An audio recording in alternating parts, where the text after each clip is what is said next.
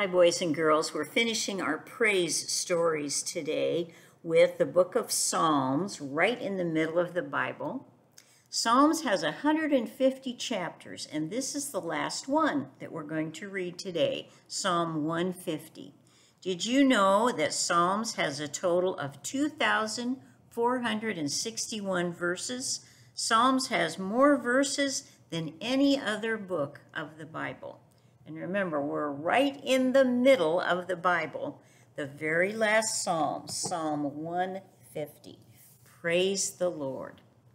Praise the Lord. Praise God in God's sanctuary. Praise God in God's palace. Praise God's mighty acts. Praise God's incredible greatness. Praise God with the blast of the ram's horn. Praise God with lute and lyre. Praise God with drum and dance. Praise God with strings and pipe.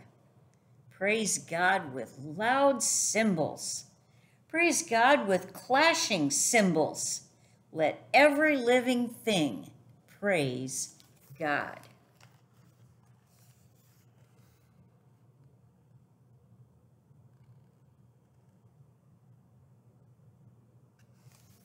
In this illustration in this um, Celebrate Wonder Bible storybook, there are a lot of musical instruments. Let's see, one, two, three, four, five, six, seven.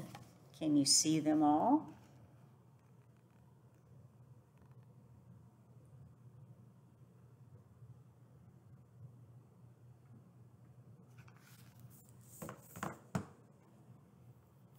Think of all the different ways to praise God. We can praise God with instruments and our voices. We can praise in our homes, on the school bus, on the playground, or anywhere we are. Praise isn't just for church, and it's not just about singing.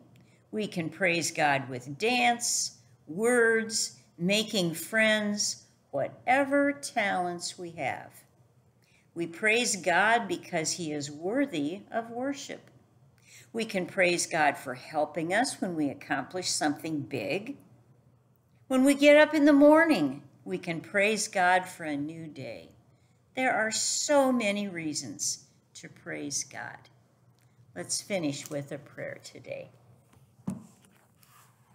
God, we thank you for these wonderful words out of Psalms, all 150 of them. Thank you for giving us this part of the Bible to enrich us. Amen.